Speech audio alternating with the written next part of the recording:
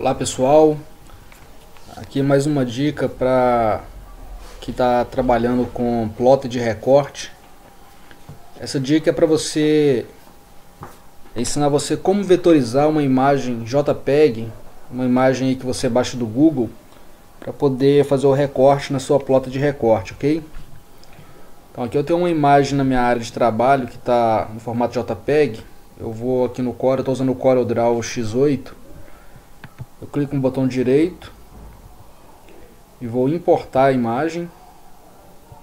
Tá aqui na minha área de trabalho, eu vou pegar aqui esse leão. Aqui está a imagem. É, deixa eu só mudar aqui porque eu estava usando o aramado. Vou deixar no normal. Essa imagem, então, ela está aqui em JPEG. Nós vamos é, vetorizar essa imagem para a gente poder fazer o recorte na plota de recorte, ok? Então aqui você vai clicar com o botão direito sobre a imagem. Você vai clicar aqui em rastreio de contorno e aqui logotipo. Feito isso aqui o Corel vai fazer a conversão, já vai remover o fundo. Vocês podem ver que o recorte aqui ficou perfeito. Aqui na imagem original ela está um pouco quadriculada, ela perdeu um pouco da qualidade. Mas aqui ela já vetorizou, está perfeito. Se você quiser um pouco mais de né, aguçar um pouco mais aqui os contornos, você pode aumentar aqui os detalhes. Né, vou aumentar aqui porque os dentinhos não estão tá aparecendo, então você pode botar no máximo, que fica legal. Feito isso, você dá OK. E pronto, aqui está a imagem já vetorizada. E para mandar para o recorte, a gente vai pegar aqui, exibir, aramado, e tá aí só o recorte. Feito isso, você vai o que? Você vai aqui arquivo, exportar e vai colocar aqui no formato PLT, arquivo de plotadora HPGL. Vou colocar um nome aqui, só vou escrever aqui leão vetorizado. Vou salvar na área de trabalho e vou exportar. Aqui OK. E pronto.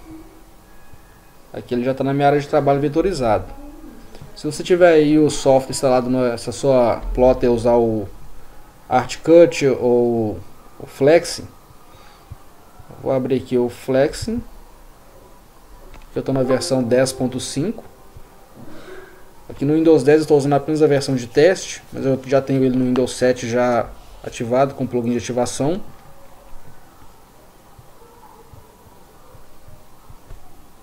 Você vai aqui em arquivo, importar, e que eu vou pegar ele aqui, ó. Ele vai estar tá aqui a, o JPEG, vou pegar o vetorizado. E aqui pronto. Tá ele aqui prontinho para poder fazer a impressão. Fazer o recorte, né? Se porventura você quiser fazer isso diretamente no Flexing também pode. O que, que a gente faz? Eu vou pegar aqui, eu vou importar aquela mesma imagem JPEG, que é o leão que está aqui. Vou aumentar um pouquinho para a gente ter mais uma noção. O que eu faço aqui? Com ela selecionada, eu venho aqui em imagem bitmap, vetorizar. E aqui a gente pode colocar cantos melhorados ou curvas melhoradas. Eu prefiro colocar esse daqui uma, ficar uma qualidade melhor, que você pode regular aqui, ó, se você quiser mais perfeição. Clique em OK. E aqui pronto, ele duplicou para mim vetorizado. Essa é a imagem vetorizada.